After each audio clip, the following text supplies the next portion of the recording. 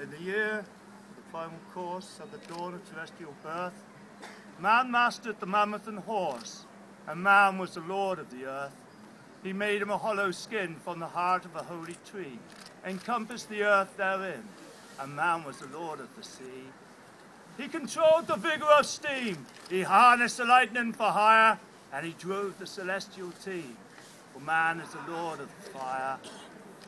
Deep-mouthed, from their thrones deep-seated, the choir of the eons declare the last of the demons defeated. For man is the lord of the air.